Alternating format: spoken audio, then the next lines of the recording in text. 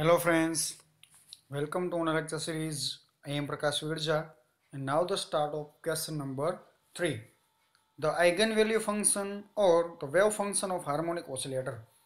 આ ક્વેશ્ચન બે રીતે પૂછાઈ શકે અને ત્રણ માર્કનો છે તો આપણે જોઈ the solution of Hermite differential equation is u of y is equal to c0 in bracket 1 plus 1 minus lambda y square upon 2 factorial plus 1 minus lambda into 5 minus lambda upon 4 factorial into y y into y raised to 4 plus 1 minus lambda 5 minus lambda 9 minus lambda upon 6 factorial into y raised to 6 in infinitive.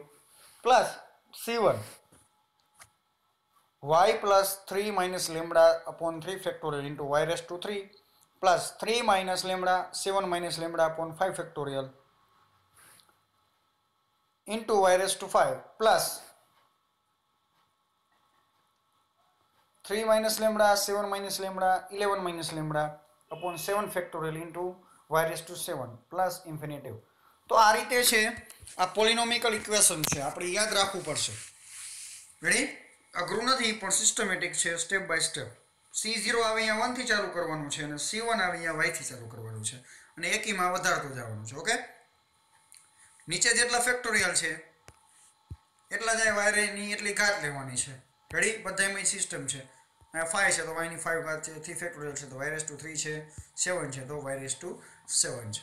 તો આ રીતે આ polynomial equation છે આપણે યાદ રાખવાનું છે you of વાયનું આગળ જોઈ here U of Y is a polynomial degree of the n. with a constant multiplier. તો જે u of y નું ફંક્શન છે એ n ઘાત માટેનું છે અને પોલિનોમિકલ કોઈ અચળાંક લીધા છે c1 c2 cn ની જગ્યાએ આપણે c0 અને c1 ના કોમ્બિનેશન માટેનું ઇક્વેશન લીધું છે if the multiplier is a chosen such that the coefficient of y raised to n is two raise to N વાયની N ઘાત છે હવે આપણે કેના સ્વરૂપમાં ફેરવવાની છે બેની એન ઘાતના સ્વરૂપમાં આપણે ફેરવવાનું છે. આ ઇક્વેશનમાં તમે જોઈ શકશો. વાયની સાત ઘાત છે વાયનો વર્ગ છે વાયની ચાર ઘાત છે. તો એને હવે આપણે કેલ્ક્યુલેશન એ રીતે કરવાની છે કે જેને ટુની એન ઘાત. એટલે કે જે એન મતલબ કે બે હોય, તો બેની બે ઘાતના સ્વરૂપમાં વાયની ચાર ઘાત હોય તો બેની ચાર ઘાતના સ્વરૂપમાં આપણે ઇક્વેશનને ફેરવવાના છે. તો the polynomial is shown by H N Y and is known as a Hermite polynomial. H N Y મતલબ એન એટલે કે જે તમે રેસ્ટ છે અહીંયા વન મૂકો, તો અહીંયા વનની જગ્યાએ એચ વન વાય અથવા એચ ટુ મૂકો, તો h2y h3y તમારે શોધવાના છે. તો એક્ઝામમાં પૂછાઈ શકે, જો એમ પૂછાય કે ફર્સ્ટ થ્રી પોલિનોમિકલ શોધો હર્મિટ ઇક્વેશનના તો ત્રણ માર્કમાં પૂછાશે. અને ફર્સ્ટ ચાર કે શોધવાના, તો એ ચાર માર્કમાં પૂછાશે. તો ડાયરેક્ટ આપણે અહીંથી ચાલુ કરવાનું થશે. Now the wave function for the state in psi of N તો સાય ઓફ એન ફંક્શન શું છે? N of n into a raised to minus y square by 2 into h n y hermit polynomial add કરાયો છે equation 2 છે where n of n શું છે normalized factor તો એ normalized factor ની વેલ્યુ શું છે upon under root pi into 2 raised to n into n factorial આખાની 1 by 2 એટલે વર્ગમૂળમાં લીધેલું છે હવે આલ્ફા શું છે તો આલ્ફાની જગ્યાએ આવશે M omega upon H cut તો આપણે એ યાદ રાખવાની જરૂર છે નહીં બટ પણ આ ઇક્વેશન યાદ રાખવું પડશે. કારણ કે એમાંથી આપણે પોલિનોમિકલ ઇક્વેશન આપણે મેળવવાના છે. Now putting the value of N of N and Y is equal to X of alpha in equation two તો ઇક્વેશન ટુમાં આપણે એન ઓફ એનની વેલ્યુ મૂકવાની છે. અને વાય બરાબર જે વાય દેખાય, અહીંયા શું મૂકવાના છે? એક્સ ઇન્ટુ આલ્ફા મૂકવાના છે. તો સાઈ ઓફ એન શું બનશે? સાઈ ઓફ n x સ્વરૂપમાં મળશે. તો n ઓફ n ની વેલ્યુ શું છે? Alpha upon under root pi into two raise to n into n factorial one by two into e raise to y સ્ક્વેરની જગ્યાએ શું આવશે? X square alpha square upon two into H n વાયની જગ્યાએ આવશે x alpha equation number three તમને મળ્યું છે. Now calculate the Hermite polynomial હવે તમને ડાયરેક્ટ ઇક્વેશન પૂછાય. તો તમારે સીધું જ અહીંથી કરવાનું થશે. આગળનું ઇક્વેશન યાદ રાખવાનું ઇક્વેશન ઉપર સીધી એની વેલ્યુ મૂકવાની છે. હવે આ ઇક્વેશનની વાત થાય છે. ઇક્વેશન થ્રીમાં એન બરાબર ઝીરો મૂકવાના છે. એટલે ફર્સ્ટ નોમિકલ મળશે. ઝીરોથી સ્ટાર્ટ કરીએ એટલે આપણે પહેલું નોમિક પોલિનોમિકલ અચળાંક મળશે.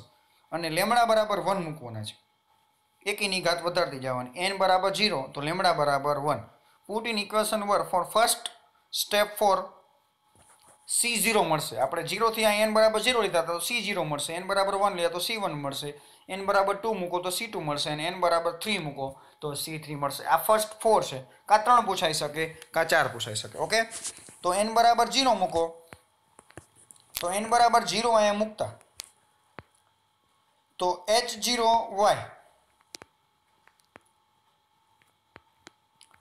હવે આપણે સાઈ ઓફ એચ જીરો આપણે મતલબ કે જીરો મૂકવાના છે, તો તમારે આ ફંક્શનમાં મૂકવાના થશે. જ્યાં તમારે એન દેખાય છે, આખે આખા ઇક્વેશનમાં આ ઇક્વેશનની વાત થાય છે. જ્યાં તમને એન જીરો એન દેખાય એ મૂકવાના છે જીરો મૂકવાના થશે. મતલબ કે વાય છે, અહીંયા આપણે શું વાયની બે ઘાત છે, મતલબ વાયની જગ્યાએ તમારે શું લેવાના છે એન લેવાના છે. તો એ ટર્મ ઝીરો થઈ જશે. તો જેટલા ટર્મ છે, તો આ ટર્મ જીરો આ ટર્મ જીરો આ ટર્મ ઝીરો પછી આપણે સેકન્ડ સ્ટેપમાં વાત કરીએ તો આઈ જીરો આઈ જીરો એટલે મતલબ વધશે શું માત્ર એક વધે છે. તો એક વધે છે, તો અહીંયા શું લીધેલા છે? સી જીરો ઇન્ટુ વન બાકી બધા કેવા થઈ ગયા? ઝીરો થઈ ગયા છે, તો C zero into one C zero એટલે એન બરાબર તમને જીરો મળેલા છે, તો આપણે શેના? ટુ રેસ ટુ એનની આપણે વેલ્યુ મૂકવાની છે. આપણે આગળ વાત કરી રીતે વાય રેસ ટુ એનની જગ્યાએ શું મૂકવાના છે? ટુ રેસ ટુ એનના સ્વરૂપમાં ફેરવવાના છે. તો વાયની જગ્યાએ ટુ આવી ગયા. તો વાયની જગ્યાએ ટુ છે એની એન એટલે આપણે કેટલા લીધા છે? એન બરાબર ઝીરો લીધા છે. તો અહીં કેટલા મૂકેલા છે? Two raise to zero C ઝીરોની જગ્યાએ શું આવી ગયા? Two raise to zero into one તો આપણે હતા તો વન તો બેની ઝીરો કાત એટલે વન અને વન ઇન્ટુ વન એટલે કે વન તો સી ઝીરો તમને શું મળેલા છે? કે ફર્સ્ટ પોલિનોમિકલની વેલ્યુ કેટલી મળેલી છે? તમને વન મળેલી છે. ઓકે હવે આગળ આપણે વાત કરીએ સેકન્ડ પોલિનોમિકલ મેળવવાનું છે. તો એન બરાબર વન મૂકવાના છે અને લેમડા તમને દેખાય છે કેટલા મૂકવાના છે? ત્રણ મૂકવાના છે. ઓકે? તો તમે આ ઇક્વેશન વનમાં મૂકવાના છે. તો ઇક્વેશન તમે વનમાં મૂકો છો કે વાય દેખાય અહીંયા તમારે કેટલા મૂકવાના છે? વન મૂકવાના છે. અને લેમડા દેખાય કેટલા મૂકવાના છે? તમારે થ્રી મૂકવાના છે. ઓકે? તો લેમડા દેખાય થ્રી મૂકીને તમે ગણતરી કરતા જાઓ. તો સી જીરો બ્રેકેટમાં હવે આ એકી સંખ્યા માટેનું છે. અને સી જીરો આપણે આપણે એન બરાબર કેટલા લીધા છે? વન લીધા છે. તો વન લેવા માટેની સી વનની ગણતરી કેમાં કરવી પડશે? આપણે આ કેલ્ક્યુલેશનમાં કરવી પડશે. આ સ્ટેપમાં ગણતરી કરો. આ કારણ કે ઝીરો થઈ જશે, તમારે જોવું તો જોઈ શકો છો કે one plus one minus lambda કેટલા છે? ત્રણ છે. તો વન માઇનસ થ્રી એટલે કેટલા થશે? Minus two. છેદમાં ટુ ફેક્ટોરિયલ એટલે કેટલા આવશે? માઇનસ વન આવશે. બેના માઇનસ બેના છેદમાં બે એટલે minus one minus one plus one. Cancel out. પછી આમાં જુઓ. One minus three. One minus three એટલે કેટલા આવશે? વન માઇનસ થ્રી એટલે માઇનસ ટુ અને ફાઇવ માઇનસ થ્રી એટલે ટુ. તો ટુ ઇન્ટુ માઇનસ ટુ એટલે માઇનસ ફોર, માઇનસ ફોરના છેદમાં ચાર તરીને બાર. ચાર ફેક્ટર એટલે કે ચાર તારી બાર દુ ને ચોવીસ. ચોવીસ થશે અને into Y raise to four. Y raise, વાયની raise to four એટલે વાય કેટલા લેવાના છે? આપણે વન લેવાના છે. રેડી તો એ રીતે તમે કરતા જાઓ કેલ્ક્યુલેશન તો એની વેલ્યુ તમને કેટલી મળે છે? તો સી ઇન્ટુ વાય તમને મળે છે. તો સી ઇન્ટુ વાય વાય એટલે આપણે કે વાયની એક ઘાત મળી છે. તો વાયની એક ઘાત એટલે તમે શું મૂકી શકો છો? બેની એક ઘાત. ઇન્ટુ વાય સી વનની જગ્યાએ શું આવી જશે? બેની ઓલા જીરો ઘાત હતી અને બેની સી વનની જગ્યાએ બેની એક ઘાત આવી જાય. બેની એક ઘાત એટલે બે.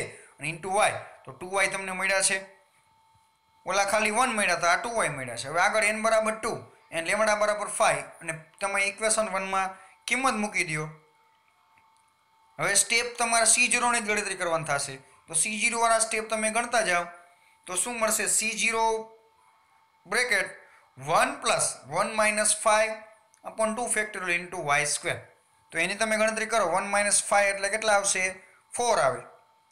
પણ માઇનસ ફોર, માઇનસ ફોરના છેદમાં ટુ ફેક્ટર એટલે માઇનસ ટુ પણ આપણે વાય સ્ક્વેરમાં રાખીએ એટલે માઇનસ ટુ વાય સ્ક્વેર તો one minus two Y square C ઝીરોની જગ્યાએ તમારે શું મૂકવાના છે? વાય રેસ ટુ ટુ એટલે કે ટુની ટુ ઘર એટલે ચાર આવી જશે. તો ચાર એમનેમ રાખો તો ચાર bracket one minus two Y square અને કેલ્ક્યુલેટર કરો તો ચાર દૂને આઠ.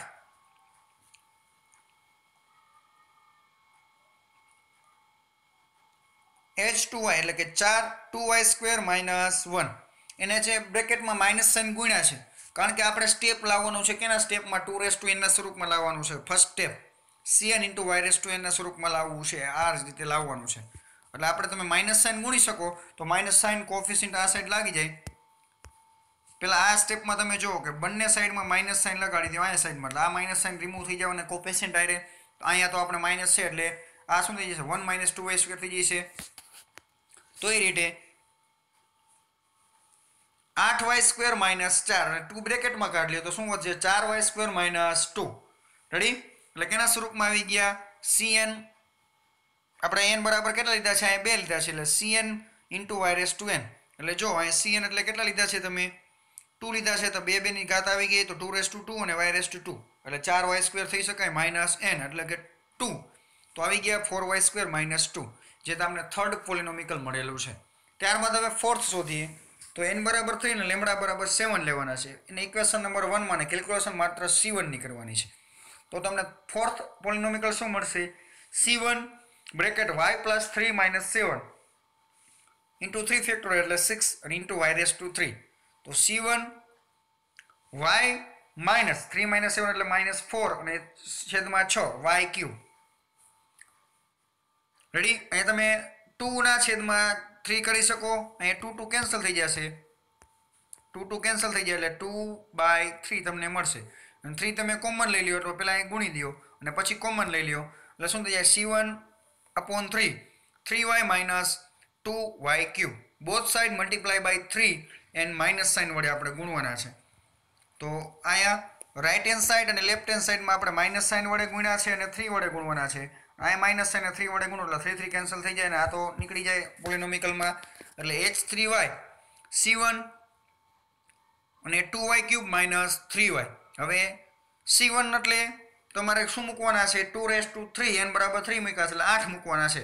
તો આઠ two Y cube minus three Y હવે તમારે આઠ દુને સોળ વાય ક્યુબ માઇનસ આઠ તરી ચોવીસ વાય ટુ કોમન કાઢ લ્યો એટલે બેની ત્રણ ઘાત વાયની ત્રણ ઘાત સ્વરૂપમાં આવી ગયા અને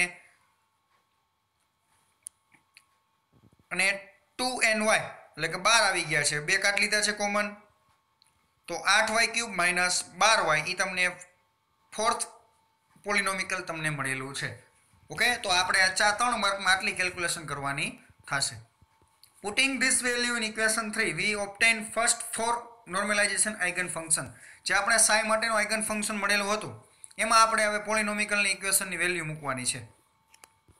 તો મૂકતા જાઓ તો ફર્સ્ટ શું મળે? સાઈ ઝીરો એન બરાબર ઝીરો લીધા તો X is equal to alpha upon pi one by two e raise to X square alpha square by two ready one મળેલા હતા એટલે વન મળ્યું છે. પછી second wave equation psi of one X alpha two તમે જો આમાં value મૂકતા જઈએ છીએ આપણે. બીજું કંઈ છે નહીં. ટુ રેસ ટુ એન તમને કેટલા મળ્યા હતા? ટુ રેસ ટુ એન એટલે કે એનની તમે એન એટલે ઝીરો મૂકો. ટુ રેસ ટુ એન એટલે કે ઝીરો એટલે કે વન મળવાની છે. એટલે એમનામ ઇક્વેશન મળશે. પછી ટુ રેસ ટુ વન એટલે કે ટુ મળશે તો ટુ આપણે લખેલા છે.